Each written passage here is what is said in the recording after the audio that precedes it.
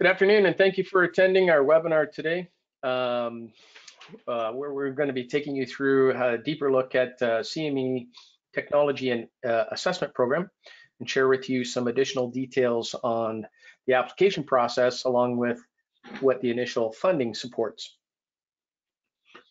Uh, just a few housekeeping notes before we begin. We're recording today's session. Everyone who's registered will get an email with a link to the on-demand version and a copy of today's presentation slides within the next few days.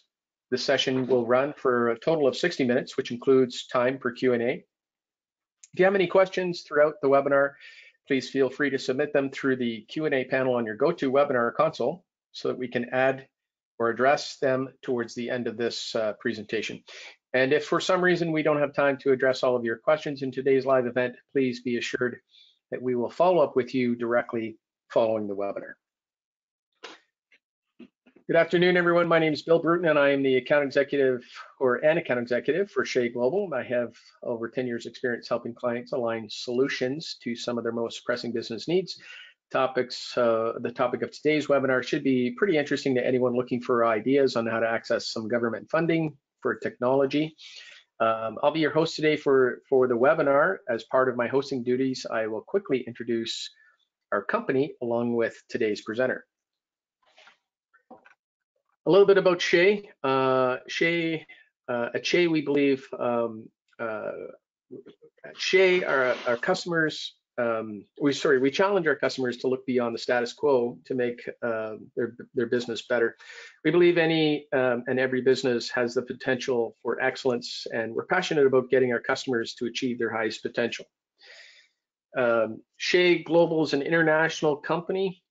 We support organizations in 25 countries from offices in Canada, the United States, UK, India, as well as the Philippines. Uh, as part of Ontario's public health safe uh, public safety guidelines during the COVID pandemic, uh, Shea Global is classified as an essential service according to the provincial definition. We will continue to stay open to service our clients as we are a global provider of ERP, CRM, business intelligence and demand-driven technologies, as well as solutions focused on transforming supply chains. Our customers or our team consists of a diverse group of experts with a lot of years of experience who have helped clients across many different industries. Uh, most of our projects are within the manufacturing and wholesale distribution space. Uh, we also focus in areas like uh, retail, aerospace and defense, automotive, uh, consumer goods, electronics, fashion, food and beverage, machinery and equipment, medical devices, chemical plastics and rubbers, as well as pharmaceuticals. Without further delay, I'd like to introduce you to our speaker today, Kevin. Um, Kevin Hollis has been an account executive with Shea Global since uh, 2015 and has been helping companies innovate and gain profit profitability from ERP technology for about 30 years now. Kevin has a double major in management and economics from the University of Guelph uh, and began his career as a management consultant where he worked, uh, worked for about five years, uh, focused on setting up ERP and reporting systems in a process manufacturing and distribution environment. Um, Kevin?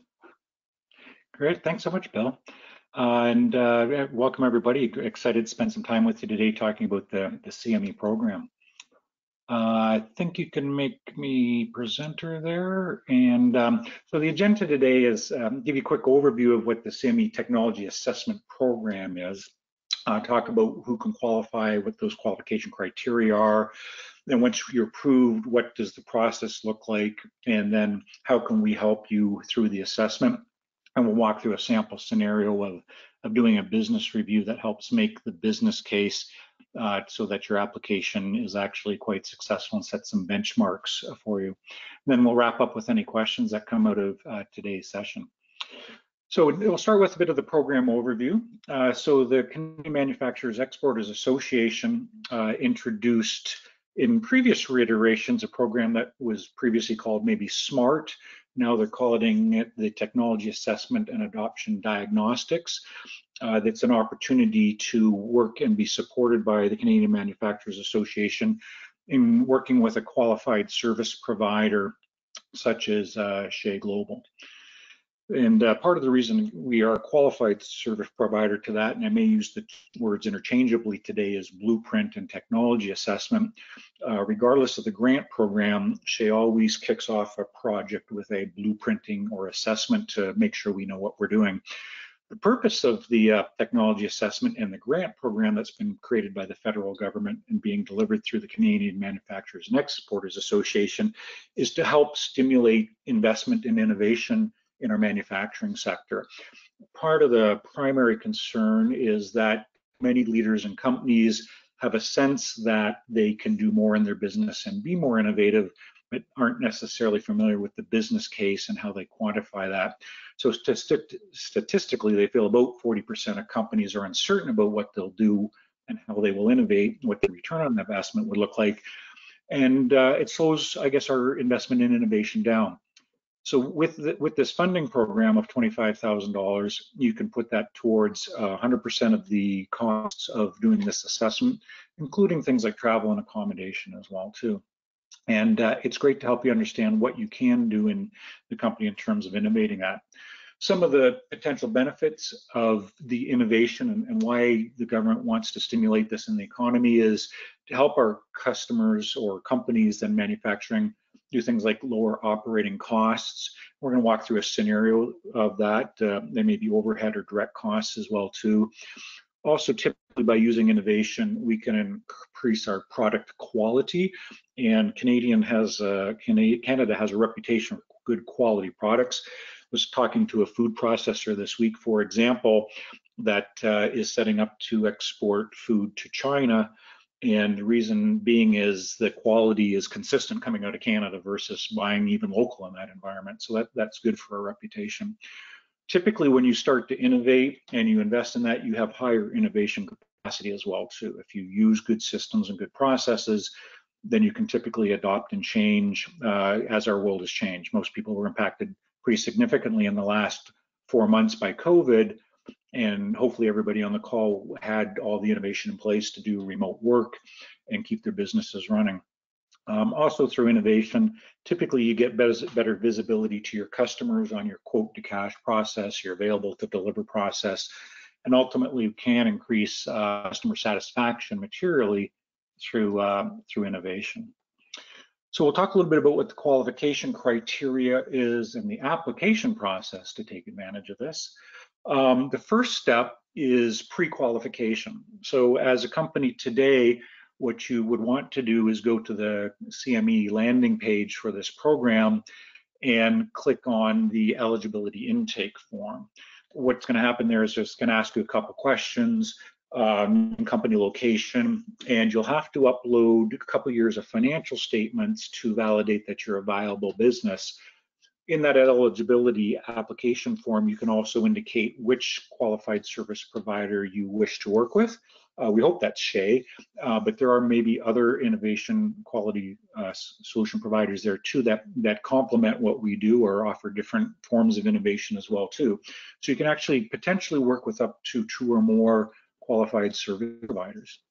Once you are pre-approved based on the criteria, then along with your qualified service provider, again, hopefully Shea in this case, we would jointly submit a proposal with you based on a business review that says here are the business processes areas that we want to do our assessment on. They will review that and then give approval, uh, notify you, and then we would go ahead and con conduct the assessment. When the assessment is completed, then the report is delivered to you as a customer. We're also obligated uh, to share that output also with the Canadian Manufacturers Association so they get a sense of the value that you would achieve or potential to achieve on it. But uh, once, once you do that, they will reimburse you for the expenses of the assessment. To qualify for this uh, reiteration of the technology assessment, currently is open to companies in Southern Ontario, listed most of the major regions there, but in essence, stretching from Ottawa right down to Windsor. You must uh, be incorporated federally or provincially for at least the last two years and demonstrate financial stability. So that's the part about them wanting you to upload a couple years of financial statements. Uh, right now, this is targeted at companies that are at least 15 employees um, and, and under 500 employees. You don't have to be a member of the Canadian Manufacturers Exporters Association to qualify for this. And um, the only caveat is you, in terms of qualification or funding, is you can't double dip. So they will pay 100% of the technology assessment costs uh, but you can't apply other government grants to the technology assessment. If you have other grant programs going, such as uh, funding or training or research and development and SR&ED and those other types of credits, that doesn't conflict. You just can't double dip in terms of funding on assessment when they're already paying 100% of the costs of it.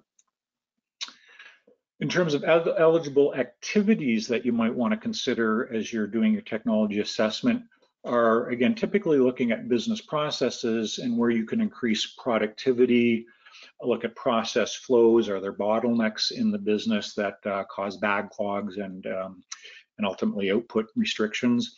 Are there things in your business that are resulting in poor quality therefore higher costs and poor throughput? Or sometimes increasing quality and certifications such as ISO certifications can increase your eligibility for exports or to get into new markets, especially if you're going to sell into aerospace and defense or food or highly uh, legislated and regulated industries. Other areas that you can look at would be waste reduction, uh, environmental impacts, green effects, uh, energy reduction. So even if you've got maybe older machines, they're consuming energy, lighting systems as well as that. One of the areas that's covered specifically in this program that's kind of nice is it does encompass information and management systems. And the reason we feel that's quite important is that in order to get the outcomes of a business, you typically need the outputs of a, a good ERP system or a business intelligence system or a good sales forecasting and CRM system to manage a business. And it's been said before, you can't really manage what you can't measure. So a lot of times if there's areas of your business that require innovation, it's improving the measurement skills uh, to improve the management of those activities. So again, the form at the CME site looks something like this, just name, company, address information, validates your manufacturer and you're based in one of the city areas here's the link that will come out to you with, with the form and PDF as well too. And again, this uh, recording will be sent out to everybody if you do want to follow up on that, and we'd be happy to walk through that. So the approval process would go um, submit the pre-application. Uh, they will approve or, or disapprove you, but assuming you approve, there's a contribution agreement where it means they'll pay up to 100% to a cap of $25,000 once that uh, is established that you qualify, that you get aligned with the uh, qualified service provider, Shea Global or other, um, we work with you to submit a full proposal that says, here's the areas we're going to cover. They will then approve that. I give you a letter to proceed. And then we've got about 90 days to complete the technical assessment, which is about the right window. We, we find these typically take about two months uh, to complete with a little bit of uh, kickoff time and a little bit of wrap up time working with you to go over the findings, the recommendations, the ROI considerations, and then also map out the what next. So once you're approved, uh, the, the what next is then delving into the process of, of doing the technology assessment. So when we get, uh, when kind of rubber meets the road, uh, it typically looks like consultants coming on site, working with you and your subject matter experts through a process. Again, it could be a quote to cash, a plan to produce, a procure to pay. Areas that we typically see challenge in businesses are, you know, procurement processes, uh, lack of visibility, uh, too much inventory building up because of that, and uh, and often then bottlenecks in the system. So when we when we are approved and when we then come in to do the assessment. We'll walk through a number of processes with you based on the scope of the engagement, figure out the cost not to solve the problem is the term I like to, to use or how bad the pain is, and prioritize where we should focus our efforts on. Uh, simple little examples might be if you're still paying people by checks, what's the value to put in electronic funds transfer? If you only do 10 checks a month, there's not a big value. But if you do 10,000 checks a month, then you probably already have EFT in place kind of thing. So through this process uh, of working with a qualified service provider, again, they would look at your manufacturing processes, other processes in the business, could be HR and onboarding as well too. And we look for the classic uh, areas for improvement, whether it's defects rates, overproduction, wait times, not utilized talent. Um, in engineering is a good example where you might have companies paying high quality qualified and highly paid engineers to rekey bills of materials between one system and an update in another system. And that, that's a good example in engineer to order, make to order environments that um, a lot of, a lot can be improved in. Um, other areas, unnecessary movements, excess inventory, and excess processing that may or may not be required in-house. Based on those, we put together a document that helps put a roadmap or technology assessment in there. The objectives of, of doing such an assessment really is to look at the current and future requirements of the business. When we say re-engineering business processes, it's almost like you want to reimagine how your business works today and one of the benefits of working with a qualified service provider is potentially to challenge you, as, as Bill was saying, is to not do what you do now with a prettier application or do what you do now with a, you know, a different scanner versus something else, but do things that you maybe don't do today. Uh, we also want to look at um, in that assessment what are the risks of doing these. Uh, typically, out of an assessment, you'll have some things that are low effort and high value, and that's what uh, we would call low-hanging fruit, things that you should probably do right away. Other initiatives might be high value, but higher risk, like a full ERP, ERP replacement is a bigger project and a much more strategic initiative. And not something that you're going to do or 30, 60, 90 days, but probably do in you know three to 12 months, depending on the scope of it.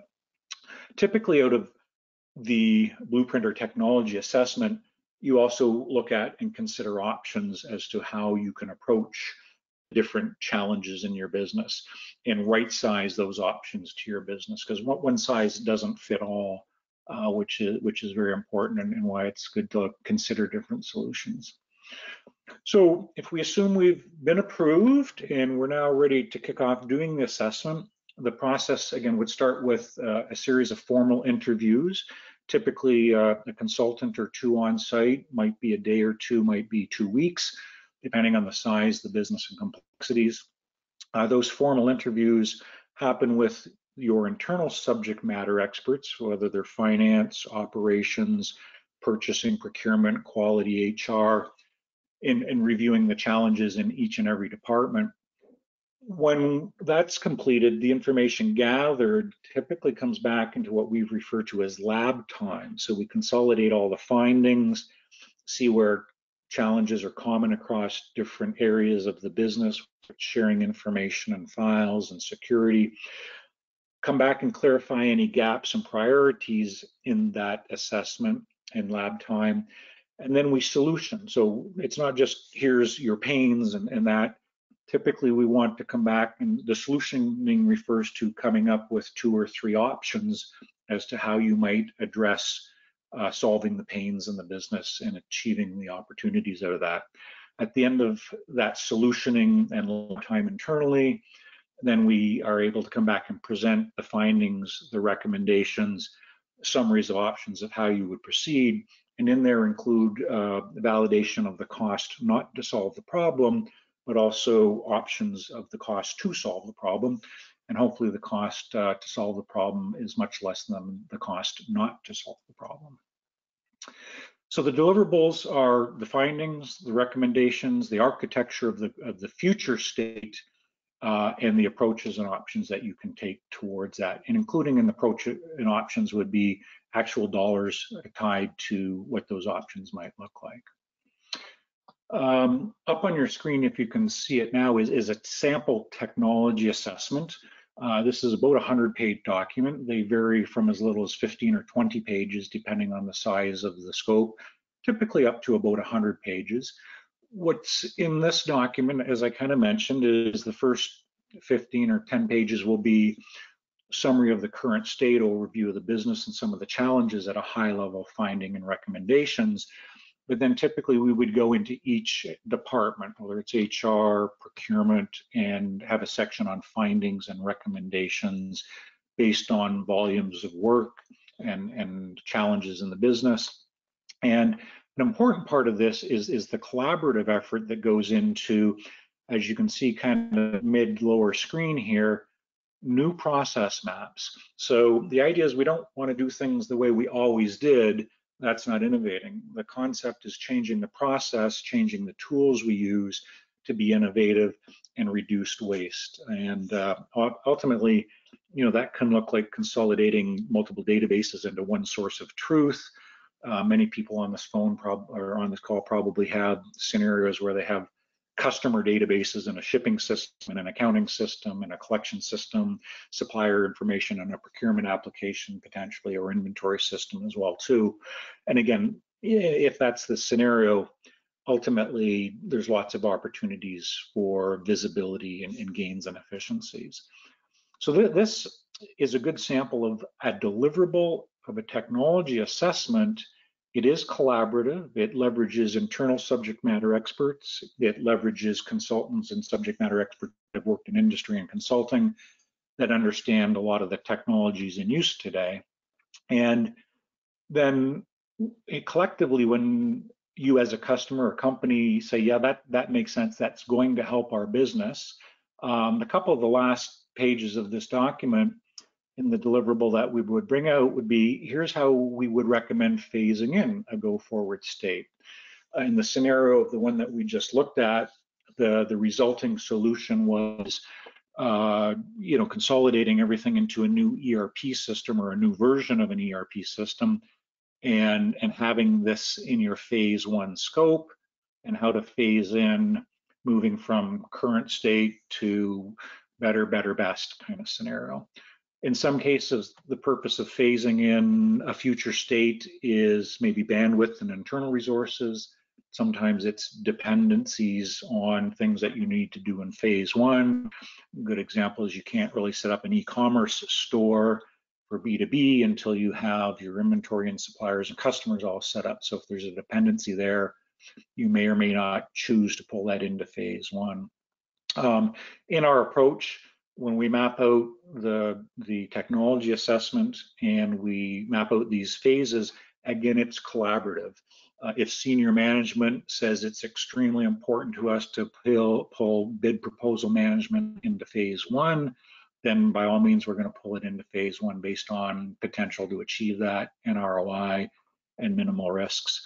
And we would say the fixed fee for this phase is, is this dollar or this dollar range. Um, I'll come back to that in just a second. So if this is how we're going to phase this in, and we say phase one, and we agree looks like this is terms of best return on the dollar, lowest risk, high value, then typically we would say a range here, and I'm just going to use numbers of 100 to 200,000. And what that would look like in terms of fixed fee, it'd be for 100,000 you can do this, for 150,000 you can do this, and for 200,000, you can do, you know, basic standard or premium level of phase one. Um, there's probably some questions around that on the customer side versus who delivers that solution to you. What, what that would mean is if you were going to put in a brand new, say, ERP system today and your internal team isn't familiar with that, we'd always recommend go with a standard or premium level solution so your your ERP partner helping out there would be accountable for assisting or completing things like data migration, forms customization, use uh, test case scenarios, and training. Um, you know, if we get out to phase three of a project and now internally a customer has good skill sets internally and good subject matter experts on the products, you might say, well, we want to add quality management as a good example, uh, as a phase three. You might say, well, we, we can just use basic support from you as a supplier. We'll handle you know, data migration and, and user training and use case, case, uh, case scenarios as an, as an example, right?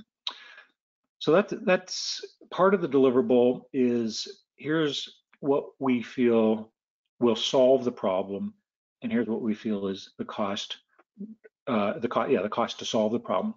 what often has been a challenge in the, uh, talking to different people who are looking at this program is sometimes these assessments don't include, well, what's the cost if I don't do this? What's what's the ROI or what's the benefit?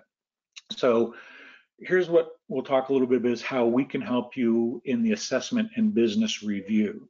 So before we do the complete technology assessment um, or blueprint, we, I, Bill, somebody on the team here, or your qualified service provider would do a business review with you. What the business review is, is it's chatting, it's getting to know you, it's bringing some experience and some loaded questions to a meeting to say, how do you do this? Uh, what is the value of this? And find evidence of a problem. Um, with my business consulting hat on from years back, the problem needs to translate into cash flow, cost savings, or throughput so that we know how it's going to impact the balance sheet or the income statement. So this getting to know each other, knowing to know your resources, how you got to where you are today, also other things like what's the vision of the company? Has COVID changed your world? Has going to e-commerce and needing to be business to business compliant changed your world? Is regulation coming into your world that's changing it as well too? So I'll through a sample ROI assessment that we would work through with you. This is in the business review. This little sample scenario uh, we would walk through with you at no charge. This is again parting to get to know each other and building the business case. So the, the funny little pictures in here do have a story behind them.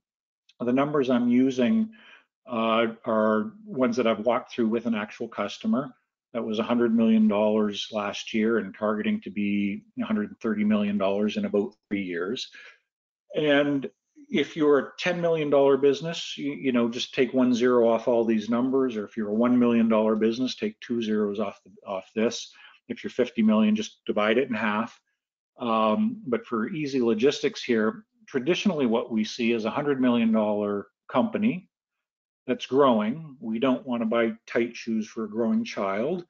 So in my 30 years experience, the number is usually going to be that company for a holistic ERP solution, somewhere between 1.1 million and one and three quarter million.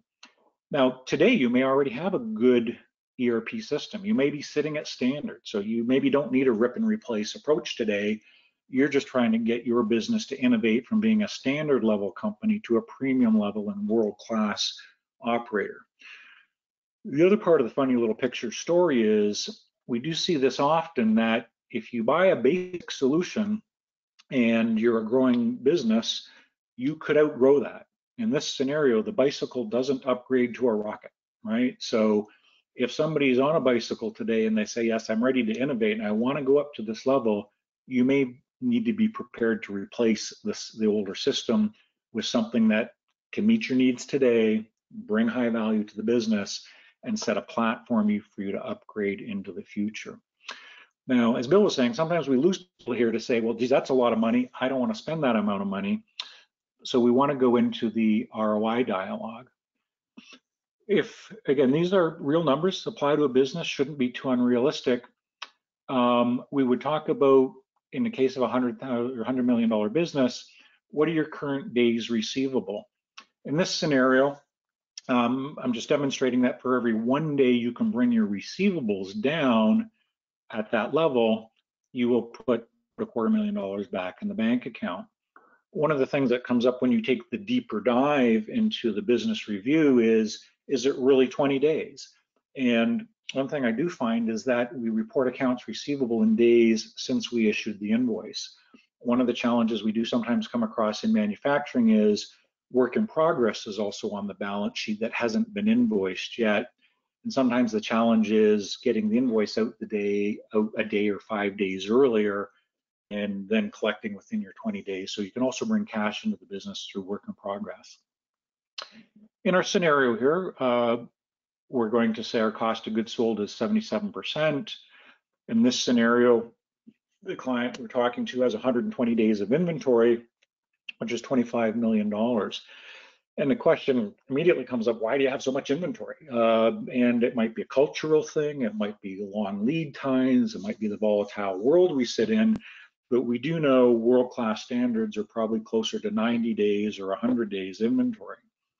In this case, the executive of the company we were talking with agrees that bringing it down five days is a pretty conservative objective, but that would put $1 million back in the bank for 1.3 million. They also said a little more aggressive target would be maybe get it down to 105 days where we'd actually put as much as 3 million or three and a half million almost back in the bank account. So those are real numbers. I often say that's cash that's your cash. It's sitting in receivables versus sitting in your bank and, and being put to better use. In some cases, that's showing how you can free up cash to do an ERP project or to do an innovation project. So the opportunity here is reduce working capital by over a million dollars. Uh, what are the challenges? Why don't people do this? Um, maybe they're not billing earned revenue. Maybe it's long lead times, poor planning. So how do you address we would look at things like how do you do material requirement planning or demand driven material requirement planning? How do you do capacity planning and identify bottlenecks so you're not sitting on inventory and you get better throughput? And the expected results would be 1.3 to 3.4 million dollars back in the bank account in this scenario. The next thing that, that's good to talk about is is cost savings. In this case if you did free up free up three million dollars and your carrying costs on a line of credits four percent, then that's going to save you a hundred thousand dollars a year. Um, the reality is if we bring inventory down by 4% or, or by that amount and can save 4%, there's also other savings like the overhead of warehousing, logistics, and maintaining the overheads of, of all that $25 million inventory. Another interesting area of business of cost savings is expediting. Uh, it's interesting when I talk to owners and CFOs of business how much they say they spend in unnecessary overtime, expediting costs to get material into the business or out of the business to meet deadlines. In this case, the client said on about 300,000 a year, and conservatively that should come down by 20%. Not a big chunk, but puts money in the bank. In this case, we have 300 employees. Question was, what's your annual payroll? Average burdens uh, just about 65,000, 20% cost to sales.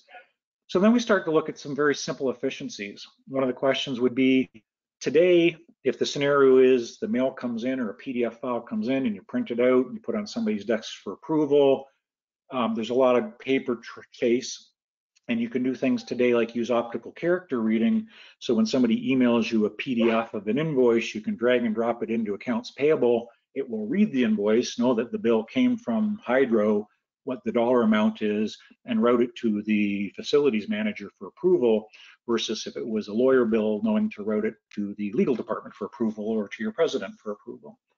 So in this scenario, um, the person we are talking to agreed that, you know, out of their back office administration, they could reduce that by one and a half full-time equivalents to free up about $100,000 a year.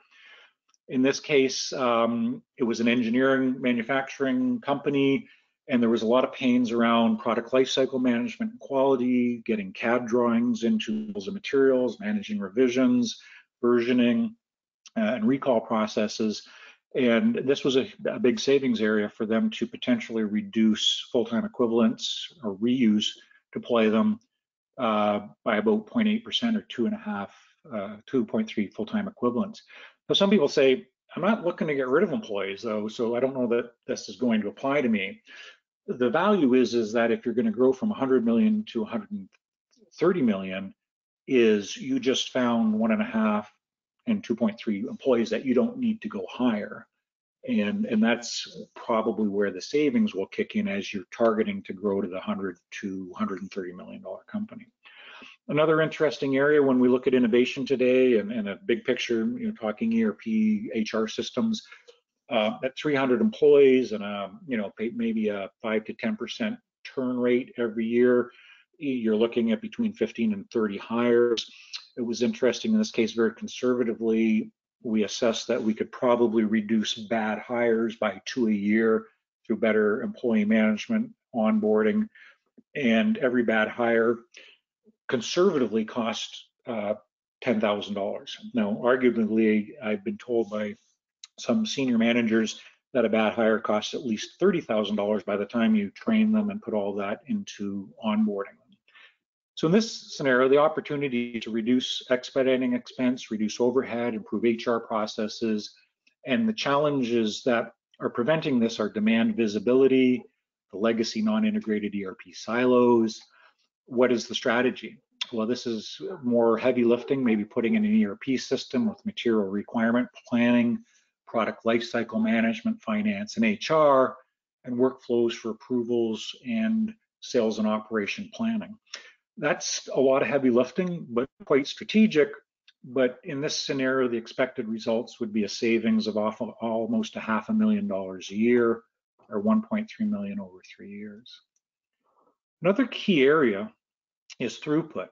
And we know that in a manufacturing environment, employees are not 100% efficient. We also know machinery is not 100% efficient, and 100% might not be a reasonable goal. Uh, but if we improve efficiencies on labor and equipment, in this case by only 1%, that would increase sales by $1 million. And for every $1 million increase in sales, we'll also drop another $230,000 to the bottom line of the business. So basically the opportunity on throughput is another 23 cents for every dollar increase of sales going to the bottom line. And again, the challenges are material and equipment and people aren't in the right place at the right time. That usually comes from visibility, poor procurement, uh, lack of capacity planning, and materials management. So again, the strategic approach to that would uh, put in a proper material requirement planning, master production scheduling, which allows for the proper people to be in the right place, not as well as the material, and look at shop floor data collection in real time uh, for visibility. And, and part of that reason for visibility is if things change or machines break, you can move things around a lot quicker and, and reduce dead time uh, very significantly. The expected results here in this case would be to increase throughput between 1 and 3%, which is another 230,000 to $700,000 a year. Um, in summary, you know, the cash flow would be potentially money back in the bank between one and three million dollars, and the gains to the business over three years would be between 2.2 and three and a half million dollars we started with this is what I think it's going to cost to solve the problem. And all of a sudden, the cost of one million to one and three quarter million is a fraction of what you potentially can gain from putting in the system. Again, not everybody's going to need a, a full ERP system or rip and replace. It might just be a case of you need to upgrade the nose cone on your rocket to add HR for better onboarding. And it, it may be a component of, of adding to the base you already have, assuming you have a good base to grow on. If you don't, one of the the kickers to the value of your business is is you know we got to get rid of that little bicycle or QuickBooks in the back end of whatever it is you might be doing today and and put in a real a real system. Um, some of the you know things on the premium solution for manufacturing get into things like manufacturing execution systems where you actually integrating machines right back into the, the backend system. We had a scenario recently with a customer in electronics manufacturing. Um, they bought a, a, a, solution called Juki, J-U-K-I. And what Juki is, it's it's like a great, it's like a minivan. It's about the size of a minivan, and it's like a jukebox that they have reels of transistors or solenoids or whatever that go into this jukebox, kind of like records would in a jukebox. And when they need that rule of transistors to go into production, they go up to the jukebox, say, I need those transistors. The reel comes out and it goes into a little robot that hooks up to the machine and spools them into the, the production line.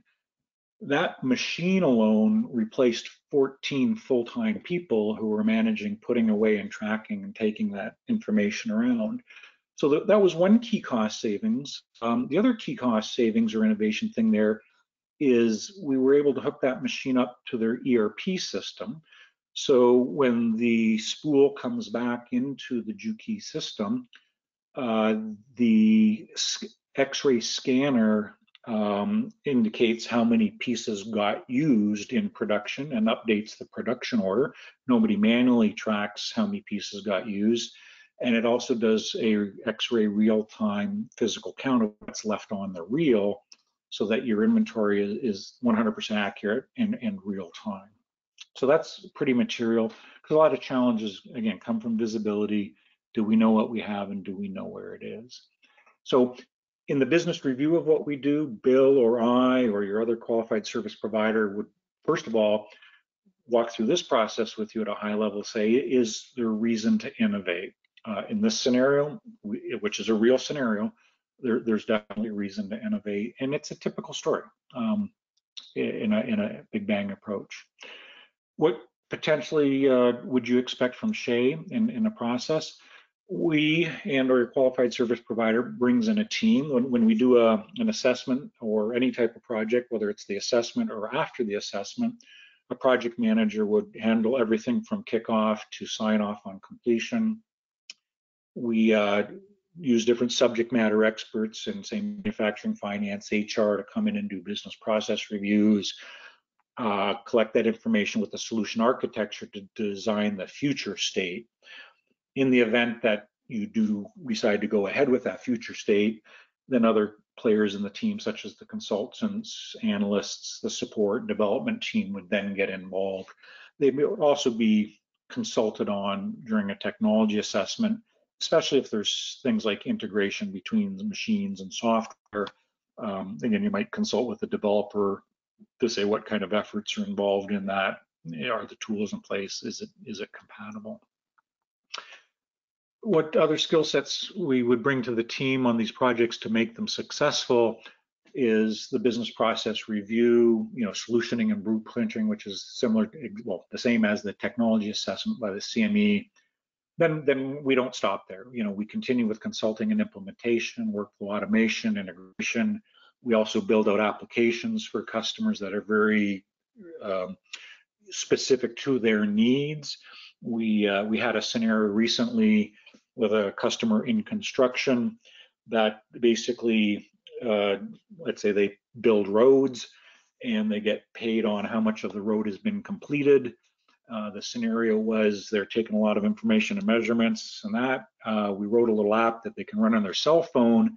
And at the end of the day, the project manager walks to the end of the road, pushes a button on their cell phone, it gets their GPS location and realize that that day they've completed two more miles of the road and the invoice goes out automatically. So one push of the button, we've done two more miles of road, the invoice left the building, um, nobody touched it that's huge, incredible savings and efficiencies and gets the cash in the bank quicker. A good example of reducing your work and process from a billable perspective, assuming you still get paid based on days from the invoice and when it went out. A lot of things that there's some buzzwords today are things like uh, digital transformation, industry 4.0. These are things that definitely we would bring to the table. Uh, you do want to consider scenarios such as uh, IoT and connecting sensors into equipment you may manufacture today. How does that help you improve customer service? Um, one of the clients I was talking with earlier today makes harvesting equipment as a good example. You know, equipment with machines, motors in it, and uh, they want to be proactive in offering service and maintenance programs for the equipment they sell so part of the visioning was, well, why don't we have a sensor in every piece of equipment you sell that when the oil light comes on, you know, and if the customer doesn't address it within 24 hours, you're picking up the phone and calling them to prevent uh, any damage. Also ongoing support. The uh, innovation assessment's the first step in, in going into a new new world. So the approach that we have is a very proven solution. We, have always done blueprints called technology assessments by the uh, CMEs. And um, the methodology of doing a blueprint to set priorities, set expectations, and set a fixed fee budget uh, allows you to uh, proceed in that manner. And, and that helps us achieve operational excellence if you engage with SHEA and, and, many other companies, one thing to consider is uh, the depth of the team. Uh, we do have, and just embellishing a little bit on, on Bill's introduction, uh, support desk uh, across all of our offices. So some of our customers only need nine to five support, some need uh, 24-5. We have a couple on 24-7. Um, but our mission is to build a long-term relationship that starts with understanding your business, helping you implement projects, and then going into ongoing uh, support, sales and operational planning, and helping you get the outcomes that you wanted to once we put a system in or help you get the outputs that you're looking for to manage the business. That's a quick dive into the CME program. At this point, uh, Bill, I'll pass it back over to you to see what kind of questions may have come in. Yeah, thanks, Kev. Um, great, um, great presentation. Um, uh, thanks for sharing that information. Uh, we're now going to go ahead and take a few questions. So just a reminder, please be sure to submit uh, any of your questions through the GoToWebinar console. Uh, we've had a few questions come in while we were speaking, Kevin. Um, so I think the first question is uh, who who can qualify for this funding? And the second part to that question is, what if I'm from Quebec, for example? Yeah, good question. Yeah, so right now the, the, the CME program is limited to southwestern Ontario. So your your corporate production office needs to be in southwestern Ontario. You do need to be between 15, 1, 5, and 500 employees. Must be around for two years and and and show financial stability. Uh, in Quebec, um, this grant program doesn't qualify right now. Doesn't mean if you're in Quebec you shouldn't do a business assessment. Just means that you, you won't get the government funding at this time. Um, the federal government, though, does release this program at different times under different brands. So if it's not available today, it may come. We don't have visibility on that. But at this time, outside of southwestern Ontario, this program it would not specifically apply to you. Awesome. Thanks, Kevin. Um, second question is, what happens after the assessment? Yeah, great question. So after the assessment, uh, the example that we looked at was that 100-page report. Um, so the the after assumes that that report has been now signed off by you and you looked at the three options. Typically what we see happening is, as I said, it takes about two months to complete a technology assessment, do the write-ups, come back and review it with people. We tend to find that, okay, they need to digest this. This is a lot to take in. Um, hopefully expectations were set uh, you know, in terms of what options might come out of it and what budgets might look like. But if the output of that is um, low-hanging fruit. Quite often we we do see that very quickly. Some staff maybe just need a couple days of training as an example to use functionality or use systems they have today and aren't just effectively being used. That would be a very small case scenario. Um, but in addition to that, at the other extreme, it might be uh, yes, we're going to propose a, a, whole new ERP system or a new manufacturing execution system or a new CRM system, or we're going to lay business intelligence over top of your current systems. That proposal comes at the end of the assessment. So at the end of the assessment, you get to digest those proposals. Uh, you can shop them around if you want to to see if somebody else can do it better, cheaper, faster. Um, but usually, again, you'll take about a couple weeks to, to digest that and say, okay, SHEA, we're, we're ready to go ahead with phase one. And that, that phase one again might be a couple days training, or it might be a two month small project, or it might be a, a two year, three phase ERP rollout. Excellent, excellent. And and sort of just to caveat that, I think you said it was a hundred page report, but um, I think that would be sort of on the larger size uh, of the reports, correct? Yeah, typically. Um, the uh, technology assessment might be as little as 15 or 20 pages, again, yeah. depending on the amount of scope and processes that come into review. Yeah. Awesome. Uh, a little bit of rewording I had to do on this this question here. Uh, um, I didn't want to expose uh, this person's business opportunity, so um, I'm sure if they're on the call, they'll probably recognize it. Uh, the question is, I'm looking for funding to establish a new company that utilizes AI and machine learning to reduce labor costs as well as optimize operations. Is this something that can help me? Um, there are programs that can help you. If you are a startup, you wouldn't qualify because of the two-year caveat on that. However, there is another um, program, and I'll have to follow up and get you the contact information after this call.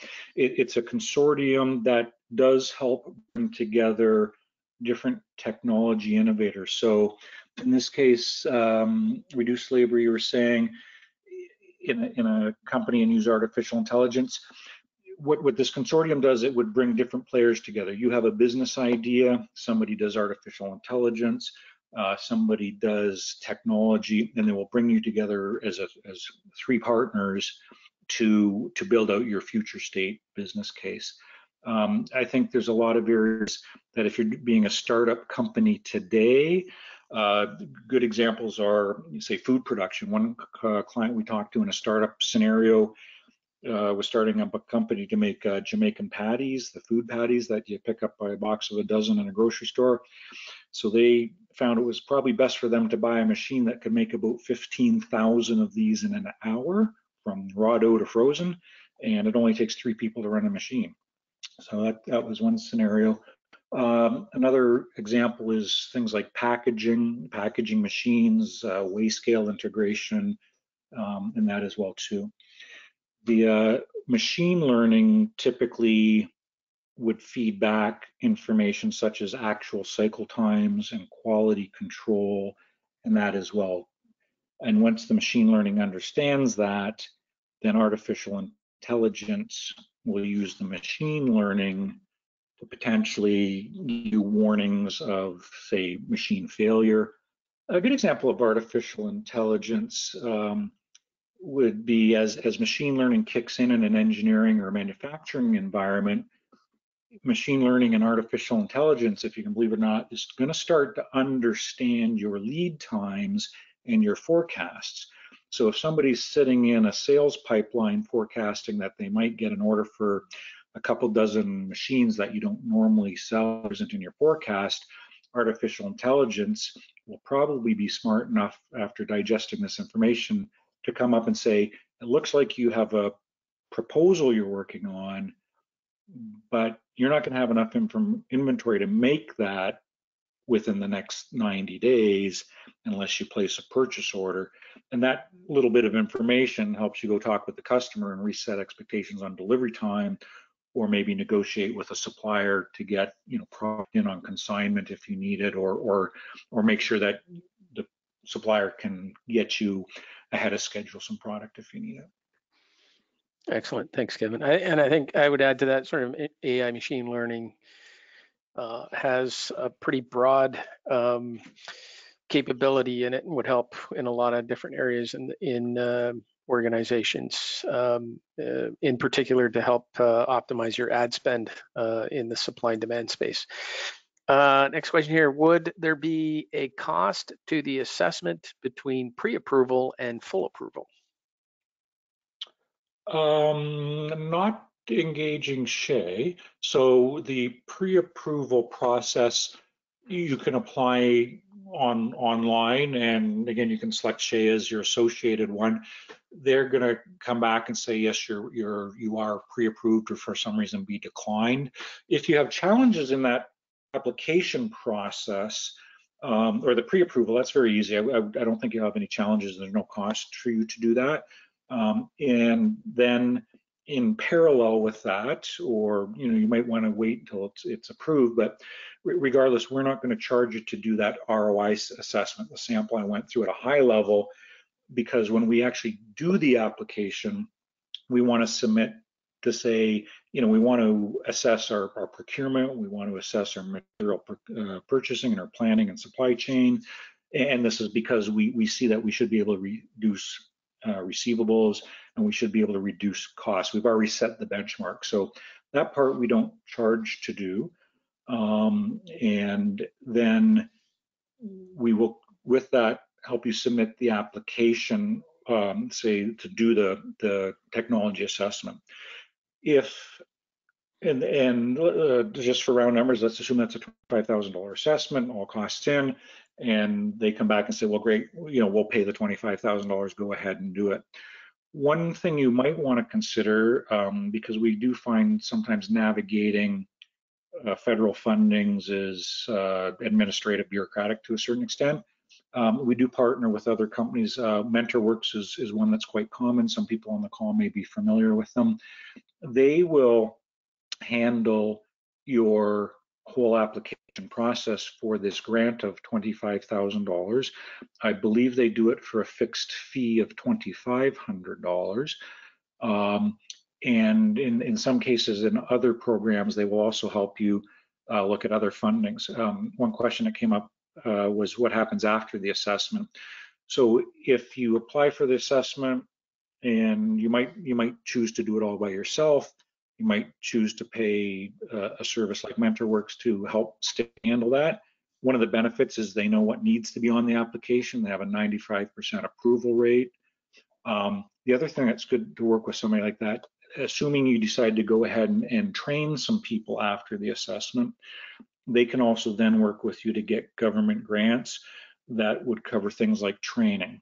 Um, I spoke with MentorWorks earlier today, and they were just giving us a head up, that, heads up that there's a new program coming also for Ontario that would cover training uh, 25 to 50 percent. That includes internal costs. So if you are taking people out of work to train them, if you're using internal managers or subject matter experts to train your internal staff, you you can still qualify for 25 to 50 percent of those costs. It doesn't have to be external costs. Thanks, Kevin. Yeah, I've gone through that process. The early, the the filing of the form. It seems pretty easy to navigate. Uh, wherever, yeah, um, probably somebody's looking for some help with that. That's great advice. Um, last question here. What is SHEA? Uh, what does SHEA do to complete the assessment? Um, will it be done virtually, or does it need to be uh, on site? Uh, yeah, good question, um, especially in this COVID world.